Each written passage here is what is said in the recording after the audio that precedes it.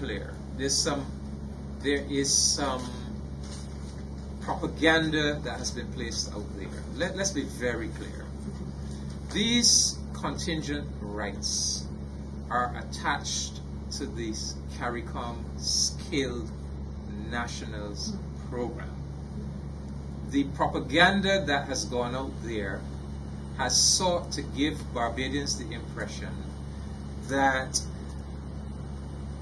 any CARICOM citizen is now entitled to come to Barbados to work and reside and to bring their spouse and children.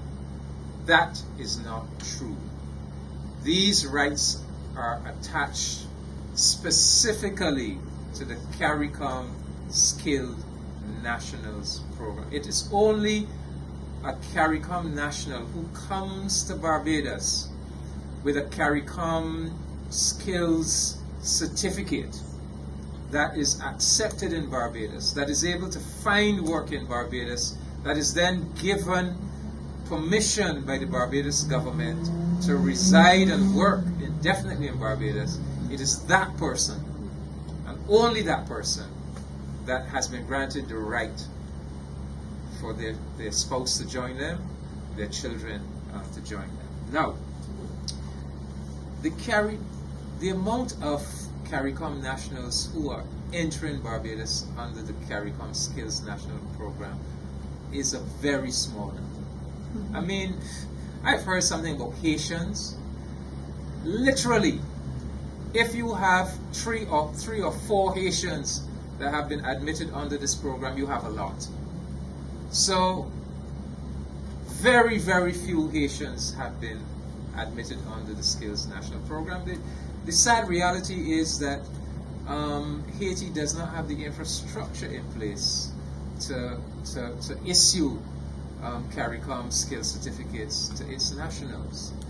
Um, so the numbers, ladies and gentlemen, the numbers are very small. In fact, I regret that the numbers are so small because I am saying that this program is a program that has tremendous potential um, for the national development of all the member states of CARICOM, $100,000. So any contract for any government contract for services that's below US 300,000 is reserved for nationals. Above it, um, CARICOM um, companies and, and uh, service providers right across the region will be entitled to bid.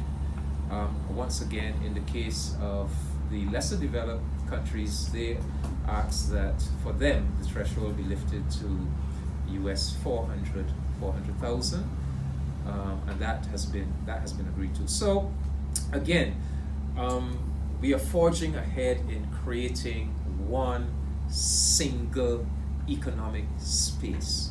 This is the whole idea that um, these 15 territories want to create a single space, a single economic space, a single a single space in, in, in, in, virtually every respect, a single investment space, a single space for financial services, a single space for information and communications technology, a single space for how telecommunication companies operate so that they cannot play the divide and rule um, role and um, in that respect, we also had um, meetings at the at the conference with the president of Estonia, a country that has um, been a pioneer in developing the digi digital economy, in digitizing the, the, the country, really taking information and communications technology to a very